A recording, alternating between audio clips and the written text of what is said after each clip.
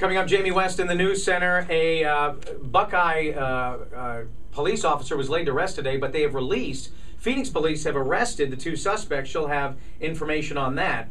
Right now, we're with uh, Allison Dubois, the psychic medium. She has a new book, Talk to Me, and she'll tomorrow night be at the uh, the uh, Phoenix A- uh, Airport Marriott on 44th Street, and you can meet. And I, I assume you, you're signing books as well, too. Um, I'm signing books for the VIPs that um, already purchased their Ah, tickets early on. okay. But books will be available. My new book. Um, I'm pre-releasing it in Phoenix Mother's Day weekend because I know Nice. a lot of people lost mothers. Right. Right. I just want them to have Right. that comfort.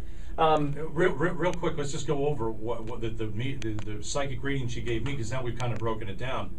You said that my, that my there was a man tied to me. Maybe it was my grandfather. Uh, today's the anniversary of his death. Right. I didn't tell you that. Yeah. So he was trying to come through before my grandmother that I asked you. Um, the other thing is, uh, you said that my grandmother was tied to uh, a little girl. Did you say that on the air or off the air? I As said, we went off I the said air. she said happy birthday, and then Right. I went off the girl uh, air. I looked at you and I said Right. it's a little girl's birthday that Well, she's saying happy birthday. It was so. just my little niece uh, Cassie was born uh, about two months ago, uh, Mm-hmm. And she they- wasn't here for that, so it'd be She wasn't here for that. Acknowledge it. So I thought that was very, very, uh, it was very Yeah, interesting. there, there are certain things that people will just say to you that they had no no idea or they shouldn't have knowledge Right. of Right. that can really make somebody believe or, Right. or at least lean a little bit more to believing. That's why I don't like to know anything about anybody before I read them. And if I know somebody, I refer them to somebody else because Oh, the right. reading won't carry the same Right. impact. Hmm. Um, also, in your book, you talk about kids, and kids also, es- Right. especially kids, may have this ability more than adults.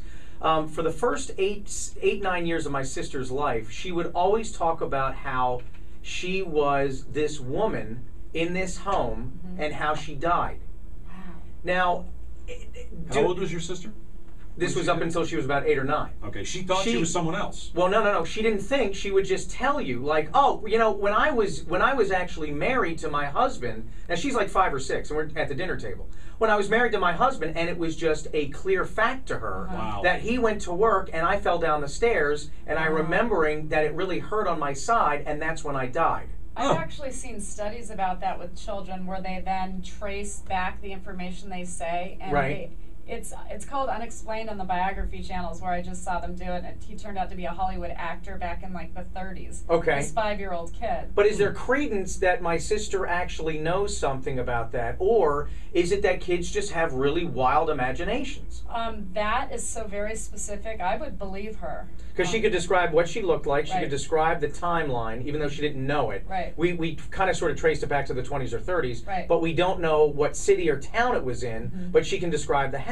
Now, she hasn't done that in years, Right. but for the first couple of, you know, first 10 years of her life or whatever, she, because I have a wild or vivid imagination. Sure. I mean, I got to work with this guy. So, you know, I have to entertain myself somehow. but she doesn't go there anymore. Right. Do we outgrow this ability, you think, or do we just clutter it with a filter that we just don't want to recognize anything? When you're told enough that what you're saying is in your head, you start to believe it. And I think as we become adults, we get a little jaded and put our Mhm. walls up and have issues, and religion sometimes can be a factor in Right. that. And we just turn it off.